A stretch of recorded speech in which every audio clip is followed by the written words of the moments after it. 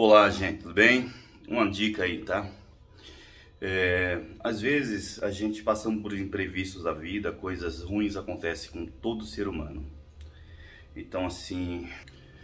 Então, quando a gente se previne financeiramente, de alguma maneira, não é fácil você se educar e aprender a economizar, não é fácil, porque o mundo está aí cheio de armadilhas e de novidades e de prazeres, tá? Quando eu falo prazeres, não é só prazeres carnais, tá? Eu falo prazeres, comidas, viagens, objetos, coisas nesse gênero.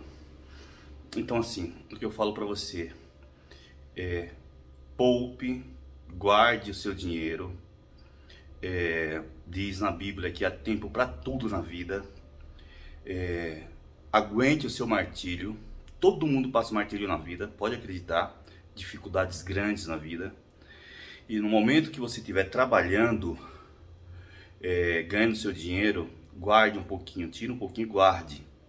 Porque uma hora você vai ficar doente, uma hora seu filho vai ficar doente, alguém próximo de você vai precisar muito do seu apoio e você só vai poder ajudar de verdade com ó com esse din-din na frente comprar remédio, comprar comida, comprar as coisas.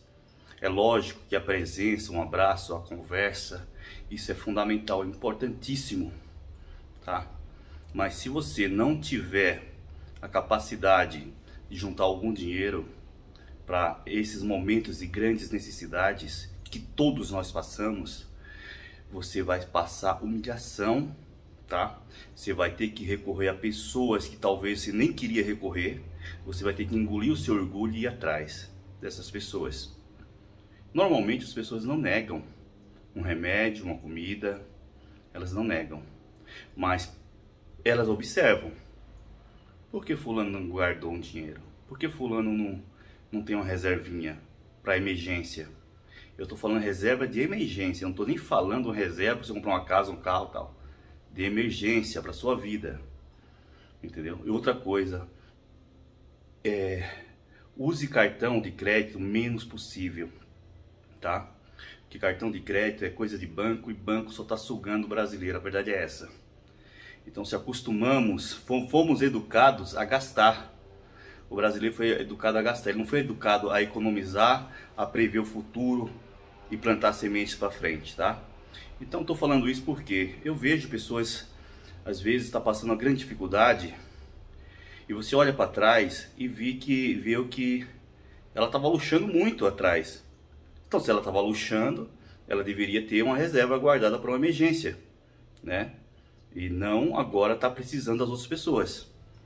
Então, assim, é, poupe, guarde, para não precisar, que também não é justo você tirar daquele que guardou, que poupou, para a sua própria vida e seus próprios imprevistos para você ela te ajudar também não é justo. Não que eu tô falando que a pessoa não vai ajudar, eu mesmo ajudo. Um ajuda o outro no que eu posso. Entendeu? Mas procure procure a economizar, procure a fazer essa reserva de emergência, gente. Não é de riqueza, é de emergência. Cada um de acordo com o valor que ganha. Ah, mas não consigo sobrar nada. Sobra. Tira aí 100 reais por mês, 50 por mês e guarda. E esse dinheiro é sagrado, não mexa para nada, tá? Então assim, não venha falar para mim que não dá para guardar, porque dá para guardar sim.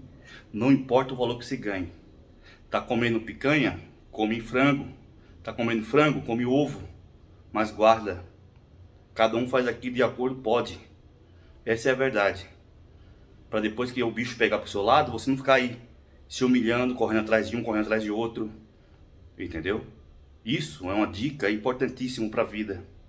Tá certo? Um forte abraço.